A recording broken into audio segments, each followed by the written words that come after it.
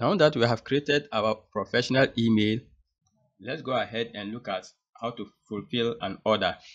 So when our clients buy from us, let's take a look on how we send their products to them. So first of all, I'll make an order myself. Maybe I'll choose this. I choose color blue and then size medium and I add it to cart. I view the cart. Maybe I'll increase the quantity. Then I update the cart. So everything is intact and I'm getting free shipping because I'm shipping to northern region. Now if I change the address from northern region to Savannah and update, you see that the shipping will be $10 for flat rate and likewise any part of Ghana. So if I go to Western North and update, it's still the same. Okay, but I am from Northern region, so I didn't need to pay for shipping. So I go back to Northern, update, and shipping is free. Proceed to cart. In here, I enter my details so I'll just fill this pretty quick and get back to you. Okay, I'll fill out my details and I'm going to use cash on delivery because PayPal is not acceptable in Ghana. I only included this to show you how to integrate other payment gateways. So I place order and then the order is received. Thank you, your order has been received. And then this is the order number today's date, my email, the total cost, then the payment method is cash on delivery. And below here are the details of everything.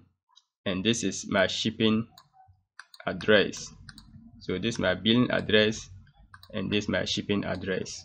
Awesome. Now as the owner of the e-commerce shop, I go to the back end, then I go to orders, and now this is the order it is processing.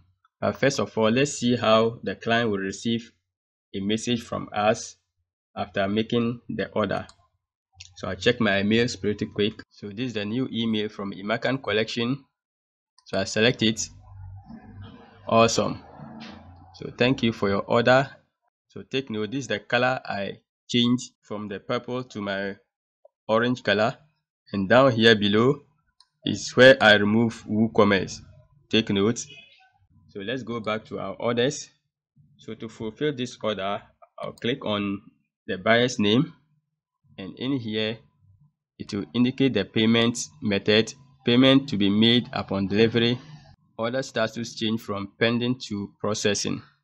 Alright, so assuming we have sent this particular product to the buyer, we will take our money from him upon delivery. So when that is done, we'll change the status from processing to completed. So assuming instances where we cannot fulfill the order, we can cancel. For instance, he has already made payment and we are not fulfilling the order, we can also go ahead and do refund. So here's the case, we want to fulfill the order. So we click on completed and then I click on update. So a new email will be sent to the client again concerning the decision we have made. And that's the email. We have finished processing your order, blah, blah, blah, to the end. Perfect. So that's it on how to fulfill order when our visitors make a purchase on our website.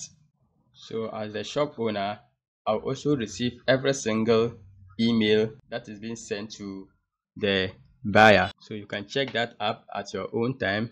And this brings us to the end of our e-commerce tutorial. I hope this video was helpful. If you found value kindly hit the like button subscribe and also enable the notification bell so that each time i post a new video on this channel you'll be the first to know. Keep watching and we will talk soon